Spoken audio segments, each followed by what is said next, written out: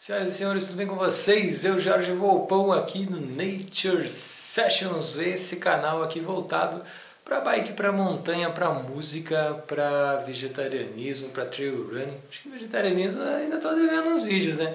Mas vamos lá. Hoje, quinta-feira, é dia de Pergunte ao Volpão. E eu separei duas perguntas bastante frequentes e que eu tenho certeza que são de bastante interesse da galera.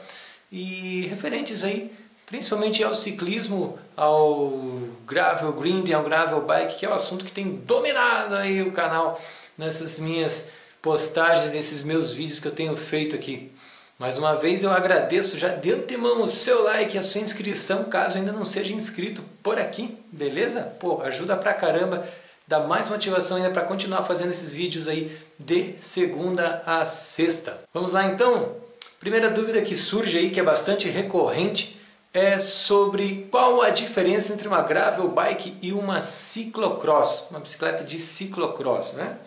Na verdade, a gente pode falar assim na diferença entre as modalidades, entre os conceitos. O que é o ciclocross? Ciclocross é uma competição de bicicletas em um circuito fechado, que não é asfaltado, circuito geralmente por trilhas, por gramado, por neve, por campo aberto, por estradões, mas são circuitos fechados onde os ciclistas dão voltas nesse, nesse circuito, onde tem alguns obstáculos, inclusive alguns artificiais, e muito praticado no inverno, principalmente na Europa, um pouco aí também nos Estados Unidos. No Brasil, raríssimas provas aconteceram.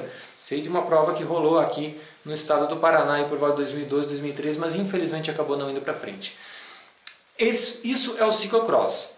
E o que é o gravel grinding, né? que é a modalidade que se pratica com as gravel bikes? Quando a gente fala de competição, são provas onde o terreno principal são estradas de cascalho, gravel em inglês, cascalho em português. Então são estradas cascalhadas, estradas de chão batido, como a gente diz aqui no Brasil, alguma coisa aí conforme as condições climáticas pode ter lama, pode ter poeira, mas é basicamente, majoritariamente em estradas de cascalho, em estradas de chão batido, com distâncias variadas. Ah, lá fora, principalmente nos Estados Unidos, há uma grande preferência por provas longas, as conhecidas 100 milhas, né? provas de 160 quilômetros, mas tem provas mais curtas também, para quem está começando, tem provas mais longas também.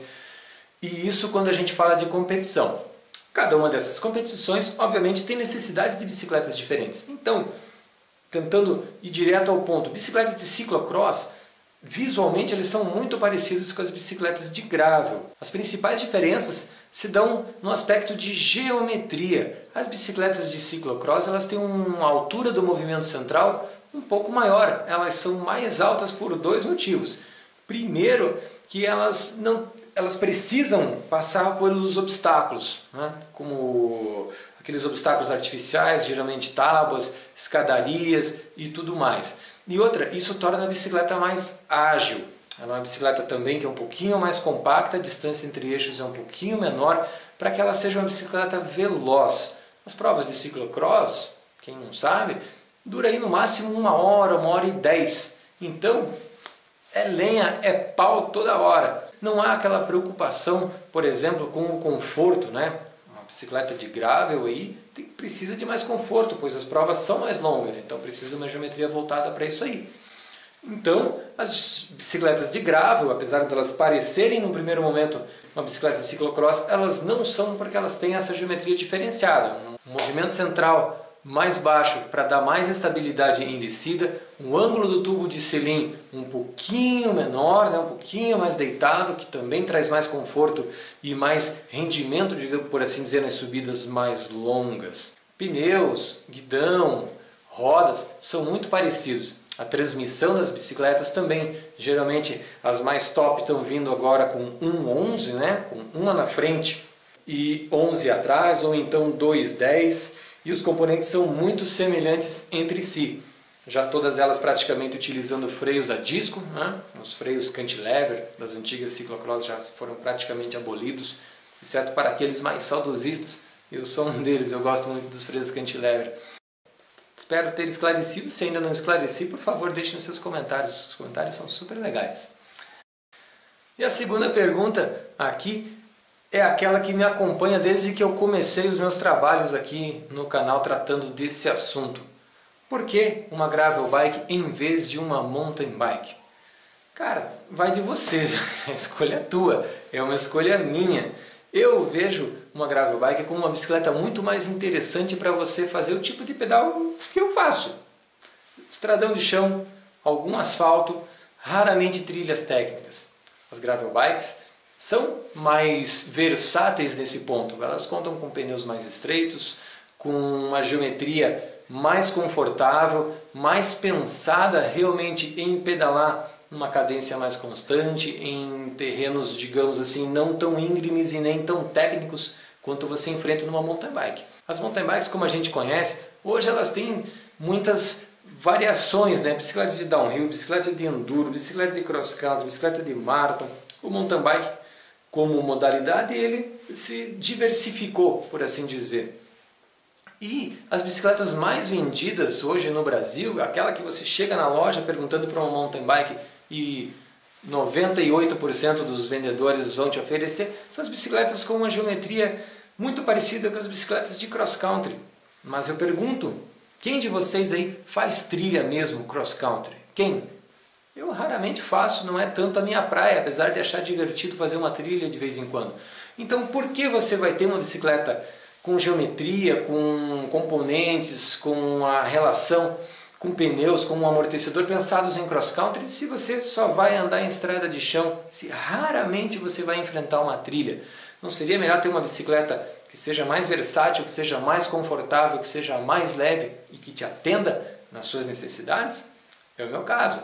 Qual é a minha necessidade de bicicleta? É uma bicicleta versátil, que eu não perca muito tempo no asfalto.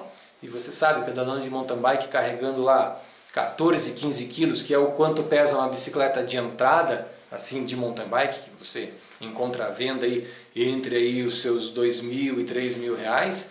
Ou você prefere pedalar uma gravel bike que vai pesar 3 kg a menos, geralmente, principalmente pelo fato dela ter pneus mais leves e de não contar com amortecedor dianteiro. Se você anda em estrada de chão e mais em asfalto, não há necessidade alguma de você ter uma mountain bike.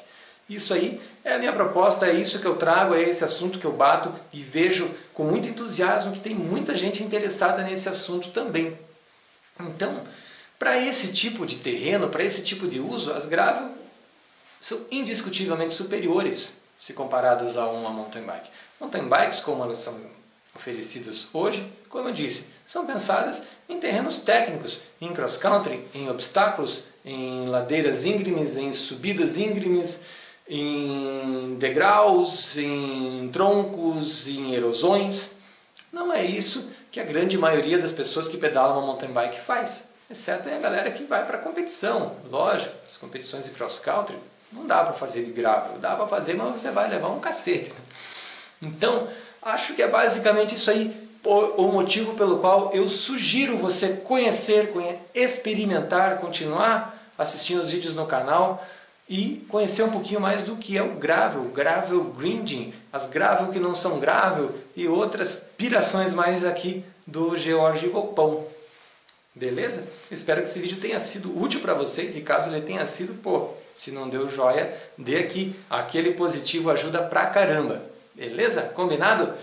Muito obrigado pela atenção mais uma vez e claro, siga-me nas redes sociais. Aqui embaixo eu estou deixando links para o Strava, para o Facebook, para o Instagram e para o SoundCloud, que é onde eu faço o som. Muito obrigado mais uma vez. Valeu, tchau.